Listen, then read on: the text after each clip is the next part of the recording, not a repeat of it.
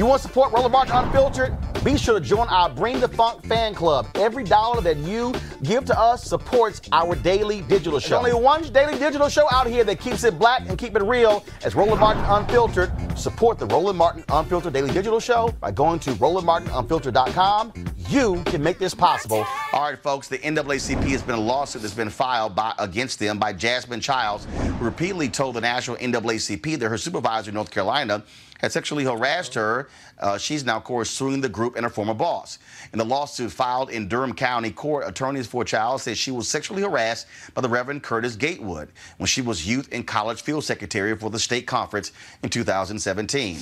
Here's her announcing it at a news conference in September. Shortly after I begun my dream work, a long nightmare began. On February 8, 2017, I was out of work with the flu on my couch covered with a blanket when my cell phone rang.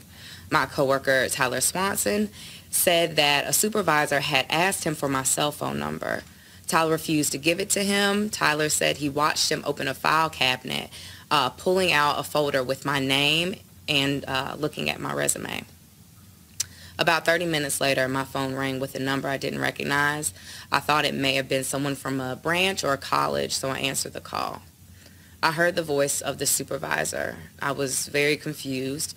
I thought I had done something wrong, but in a seductive, low voice, he said he was calling to check on me and to let him know if I needed anything, anything at all. He would be there for me. I tried to end the call politely because at the time I was a temporary employee and I wanted a contract position. I felt violated and scared. In fact, Tyler and another coworker had warned me in my first week at the NAACP never to be alone with this man because he had sexually harassed interns and other young women. After I hung up the phone, I understood what they meant. Then on May 2nd, 2017,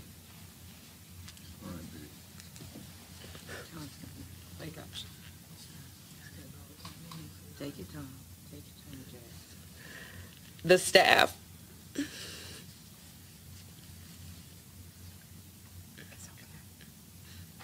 the staff uh, were in the office setting up for my coworker Laurel Ashton's surprise going away party. We left the lights off in the room, hoping she would not see what we were doing as I was unpacking food and setting it up on the table. I felt someone's breath on my neck, and then I felt Empress's his, his penis against my buttocks. I turned around quickly and saw the same supervisor. I yelled loudly, um, why are you hovering over me? That's gross. Move. He claimed he was looking for a receipt and then he stormed out. I stood there feeling violated, ashamed, and scared after he sexually assaulted me.